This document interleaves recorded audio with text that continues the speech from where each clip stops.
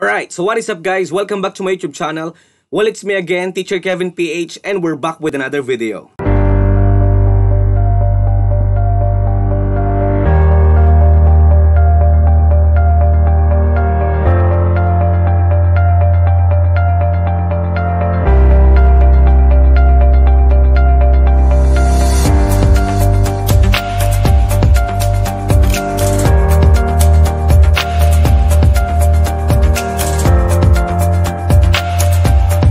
Okay, so today we're going to make uh, another advanced Excel tutorial in which we're going to create uh, an automated exams monitoring sheet for our students.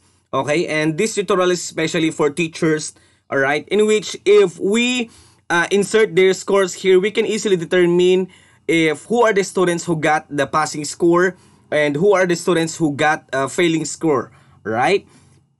And we just uh, have to make a simple template here, okay, in which we included names of students. I just added uh, students 1 to 5.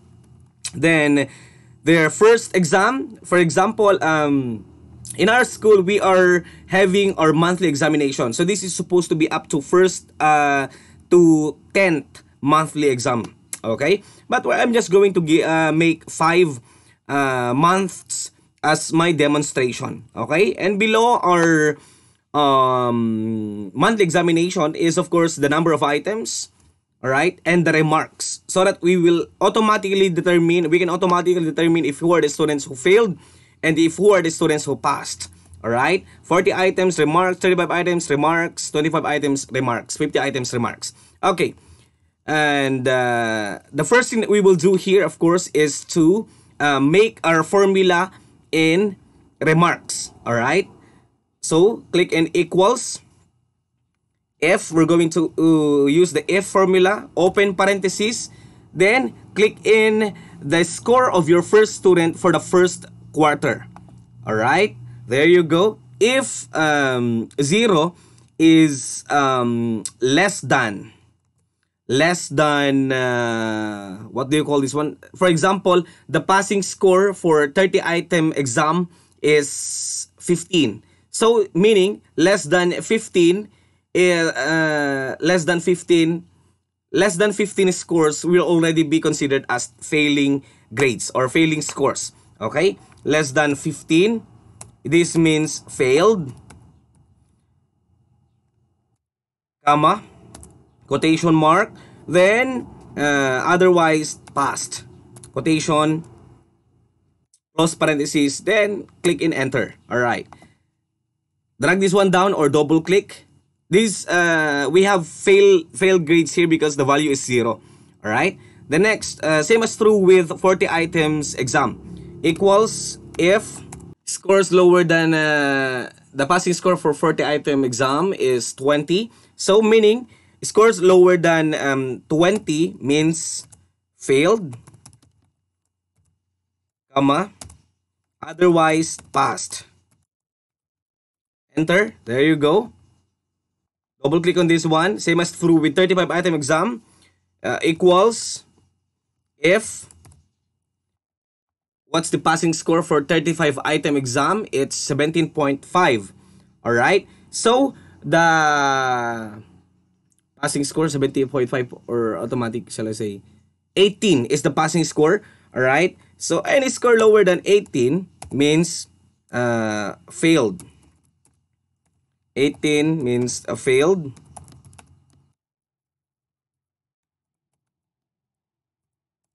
Otherwise passed. There you go. Same as true here if 25 item exam, 13 is the passing score. Lower than 13, it means failed.